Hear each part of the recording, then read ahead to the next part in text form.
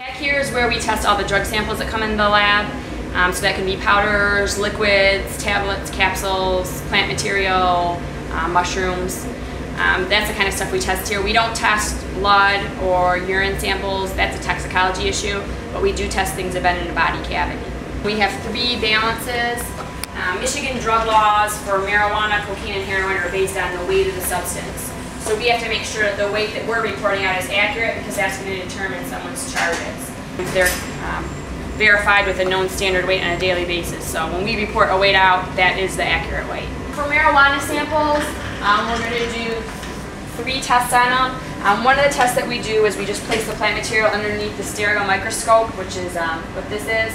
And this just magnifies the sample so we can see the plant characteristics that are on it. There are a couple of fake um, plants out there, and if you just saw it in the baggie, the Ziploc baggie, you would think it's marijuana. But until you get under the scope and you look at it, and you do the instrumental test and the color test on it, that's when you can determine whether or not it really is marijuana. So just visually, without starting our test, you can't tell on some things whether or not they're marijuana. This is our modified Duquenois-Levine test. You just put a little bit of the sample into a test tube and then take our Duquenois-Levine reagent, place a certain amount into the test tube. That'll let that mix with the marijuana you have so you can kind of grind it in there, mix it up a little bit. Then you want to extract the liquid that you have from this little test tube and transfer it to the other one in my hand. And then you're left with uh, little sample of what hopefully will be known as the THC, that content in there. Then uh, add a little hydrochloric acid as well. And then the change will go from this color to like a slate gray to a blue then a purple.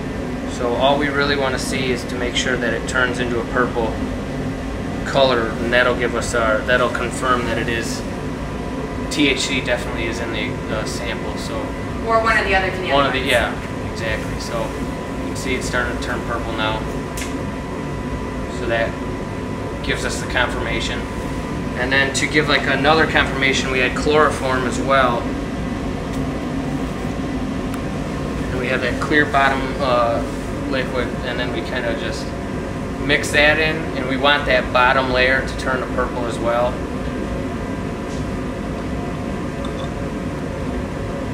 And you can see the two separate layers, and we have a, a slight purple, and that's just like a, a, a dual confirmation of the THC.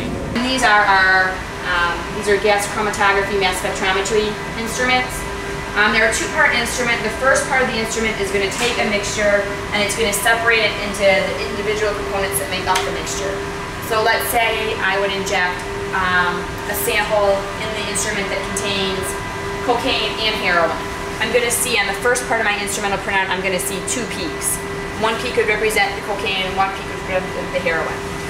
And on the second part of the instrument, these separated components go into the mass spec where they're bombarded by a high beam of energy um, and they fragment. And the pattern they fragment in is reproducible and unique to each component, so it's like a molecule's fingerprint. So cocaine always looks like cocaine, but nothing else looks like cocaine. So everything that comes into the lab, we're going to do this chemical confirmation test on it. Um, on the CSI shows they run DNA on these, and you can't run DNA on these.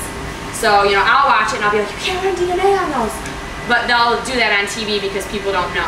But these aren't DNA instruments.